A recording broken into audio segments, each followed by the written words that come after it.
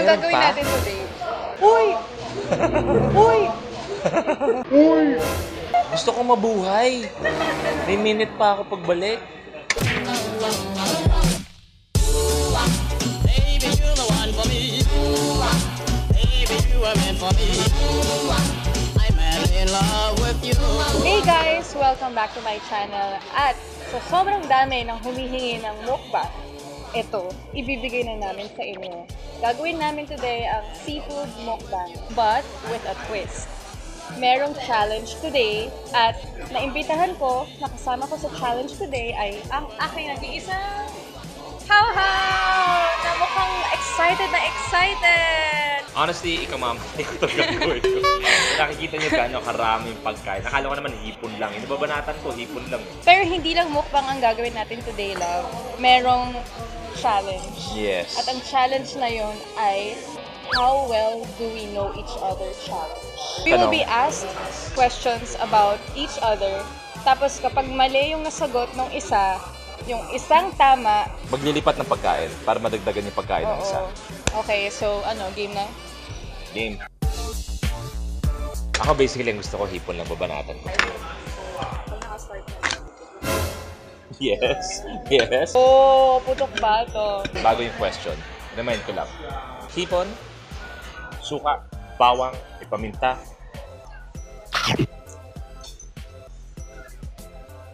Magkakamay ng kanin.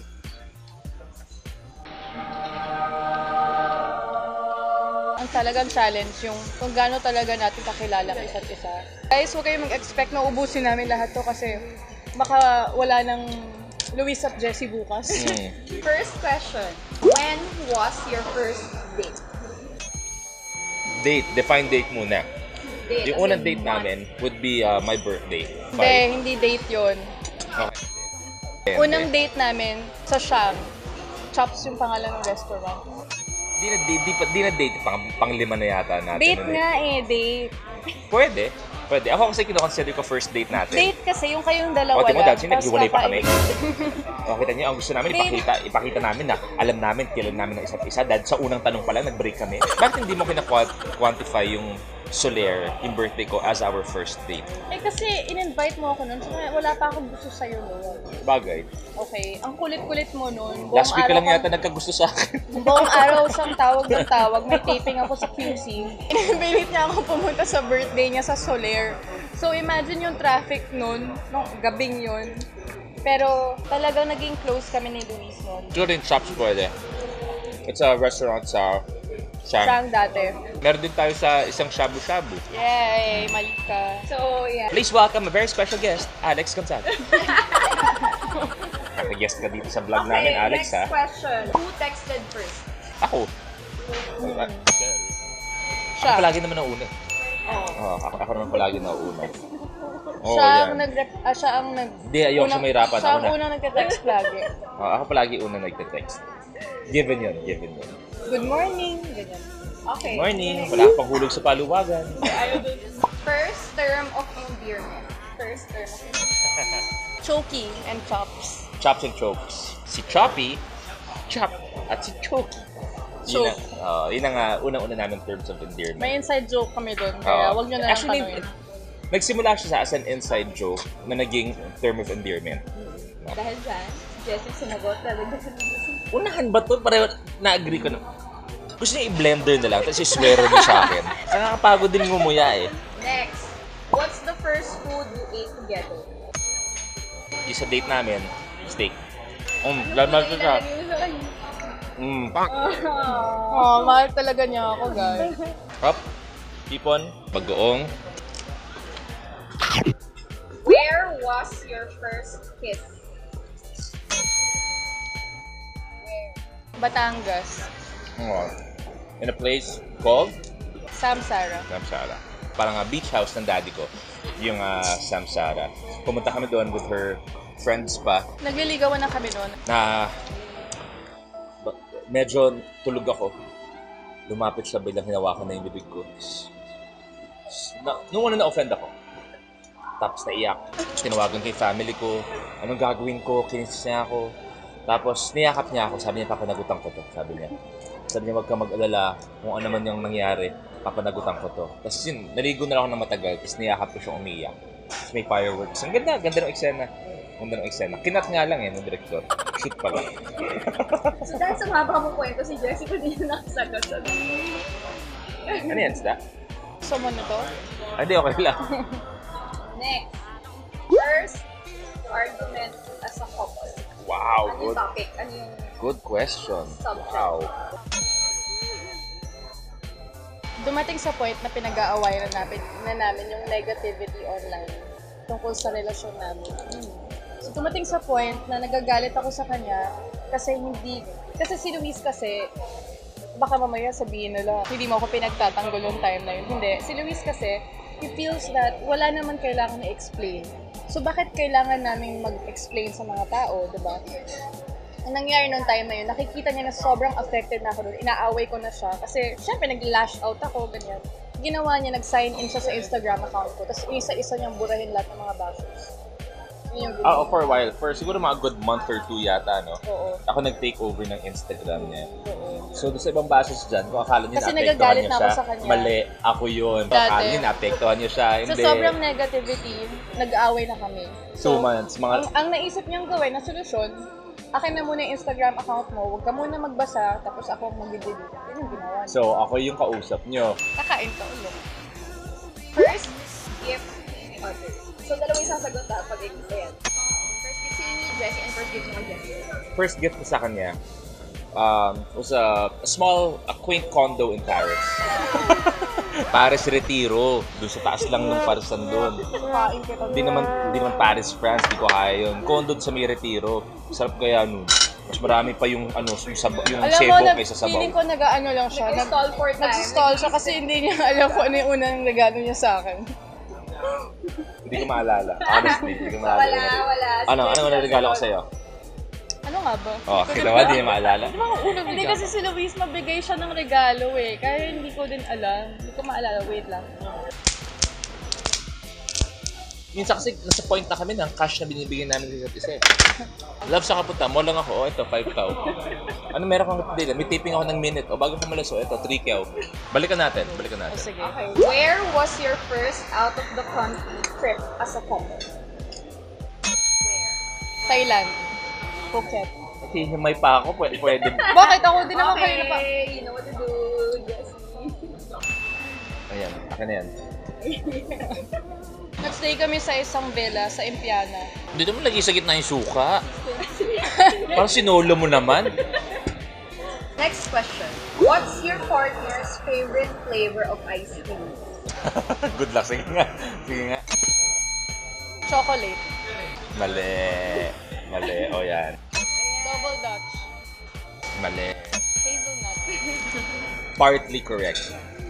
Marami siyang favorite kasi. Oo. Daya naman Siya ako. vanilla. See, isa lang kasi favorite ko. Oh, kaya nga, ako, mas, mas cookies and cream. 'Di ba? And hazelnut. Ano, lahat ng ice cream, kinakain niya. Next. What's your partner's least favorite body part? Wala eh, kasi he loves himself so much. In a good way, ah. Insecure siya sa legs niya. Kaya squat siya ng squat kasi gusto na lumaki yung legs niya. Hmm. Ano? No, baba ako. Wala ikaw, ano? Wala ka naman sige, na body part eh. Meron no? Meron, pero depende doon. Nag-fluctuate sa weight niya kasi. Legs ko. Yun yung nag-ano doon, nag-fluctuate sa weight niya. Saka braso. Hindi naman constant kasi na malaki legs mo. Nag-fluctuate sa weight mo. See? Pero Pinanahan mo talaga ako. yung hita ko talaga. Pinanahan mo ako. Kaya dahil doon, may isang kalimasag. Masa... Oh, daya na, ang laki Masa- sayo eh. Did your partner have a nickname as a child? Ako, well ako, mm. Lucky. Hmm.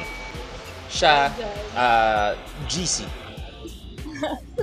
Yung kapitbahay niya kasi, yung tawag sa kanya, GC. Mali, mali siya. GC, GC. GC yung tawag sa kanya. Mali. Nandun ako ng bata ka. Mali. Tisay. Oo nga, Tisay. Tisay din ang tawag sa kanya. Trivia, nung bata siya, nagkasama sila ni mommy sa isang commercial.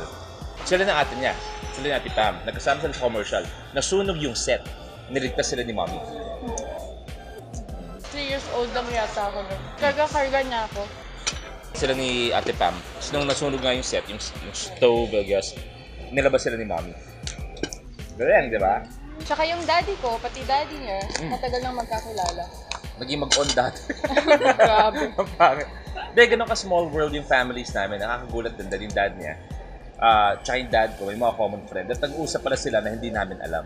So, bibigyan mo siya. Uy, wag yan. Tanda na ako mamaya, yan pa ikamatay ko. Next. Who is your partner's Hollywood crush? Jennifer Lawrence. Sting. Medyo lumiliit na kayo sa paningin ko, ah. Medyo yung dito nagiging blurry na. Pero bago yan, isa pa. Suka. Ipon. What is your partner's favorite song? Ito pa workout sa kanya eh. Three Little Birds. Pwede, pwede. Pero Pwede. yun, yun ba? Versace on the floor. Ano? Pwede. Anong pwede? Siya iba-iba eh. Bibase ko sa pang-workout niya eh. Siya nga nagtuturo sa akin ng mga new tracks minsan. Like, kasi there was a study na pag di pa magigets yun, pag 30 pataas, parang hindi na masyado interesado in learning new music. May study na ganyan eh. Parang content ka na sa alam mong mga music library. So, uh, gano'n. So, siya nagtuturo sa akin ng mga bagong music. Yung mga Ariana, yung mga ganyan. Kung nag-workout kami, no choice ako. Sa laki ko to, Ariana ginagamit kong music. Thank you, next. Yung mga, ano yan, Rita Ora. Yan. Isip mo, di ba? Laki ko to. Nag-muay ako. Rita Ora yung sounds ko. Woo! Dua Lipa. Dua Lipa. Wala siyang choice. Ng new music. Depende sa mood niya sa gym namin. Si Jessie pa rin yung nakasagot. Ilibing niyo na lang kaya. Mas mabilis pa yun. Next. What is your partner's biggest fear? Biggest fear? Walang takot to eh. Sino sumagot? Bell. Walang takot to. Wala kang takot eh. Ako? Meron, hindi ko lang pinapahalata. Ano? Ha? Ano? Secret. Let my fears be my own. Ano takot siyang mawala ako? Given naman yun. Pero yeah, may mga, lahat naman tayo may fears. Eh. Siya ang fear niya, anything to do with, you know, a bit for her family and a bit of the future. Yun na, yun ang mga fear niya. And I think it's, it's partly for all of us. Lahat naman tayo may ganun. And I think may sukang pumasok sa mata ko. Okay, balikan na lang natin yung question kanina. na Oh. What was your first gift? Alam po ko nung gift niya sa akin. Prada na backpack. Mas nauna ba yun? Mamaya magugulat kayo yung pawis ko, buong hipo na lumalabas dyan. Itong pawis, itong pawis ng pagkain. Na makikita niyo, buo yan, hipo. Tsaka suka na yung lumalabas sa akin. So, quit na ako sa, sa kain. Dahil dyan, si Jessie ang nanalo. In the Yay! challenges. Yay! In the mukbang challenge and in the how well do you Grabe. know me challenge. How well do you know each other challenge. It was a good run. I did what I could. Hindi But, pa ako uh, tapos kumain kahit tapos na yung... it's na. Pero uh, kailangan niyang kumain dahil uh, she's eating for two eh. Ah, gulat kayo, di ba? Bilis, sabihin mo na sa kanila. Loko lang. Pero last question lang, yung favorite expression na ginagamit ng partner mo pag nag-aaway kayo. Di ba may ganun? Favorite expression or statement. Grabe ka naman! Ganun. Ganun siya. Grabe ka naman! Hindi mo sa akin. Oo. Sabi ko yun. Oo.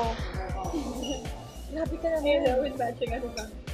Puro cholesterol yung utak ko ngayon. Kaya medyo di na ako makaisip. Yung 1 plus 1 nga siguro sa mga 6 minutes bago ko pa mag-gets ngayon. Wala, poker face ako eh pag nag-aaway kami. Ako, Dinededma ko siya pag may tinatanong siya, love yung ano, love, love, love. oh, Grabe ka naman. Poker face style of acting na. Ganyan. Yes, lalambingin ko.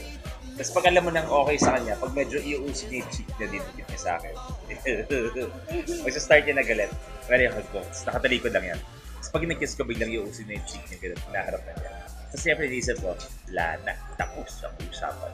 Tandaan sa karisma ni Manzani. Dapat tanongin niyo kung sino talaga yung nanligaw. Nagpipiling siya na ako talaga yung nanligaw. Kaya ko sabihin categorically na siya naligo sa akin. And she put in the effort naman. Yun yung happy ako. Hindi naman ako bumigay agad-agad. Nag-effort naman siya. Happy naman ako na talagang kinausap niya family ko. Kahit nga yung mga classmate mo ng grade 3, pinuntahan niya eh, para magpano. Pero, eto kami ngayon. Sa lahat ng effort niya, good job. Ako. Bakit? Biglang bawi. Klaro naman, na akong nanalo, guys. Ako mas maraming tamang sagot at ako mas maraming kinakain. Dahil vlog niya to. Anthony vlog ko. Ako naman mananalo. So that's it, guys. We really tried our best to finish everything. But thank you for watching and please don't forget to subscribe. We would like to thank Casa Escondida, Sobra, sobra. Sir sobra. Dong Always. Vergara, super thank you, Sir, Sir Andrew. Dong, Mami thank you. Sir Andrew.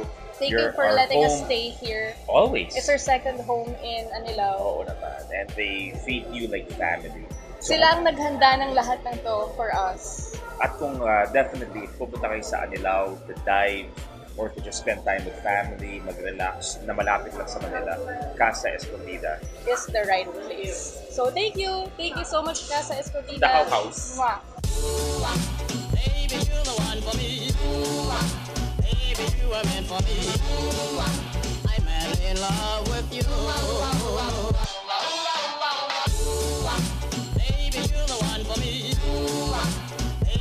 You are.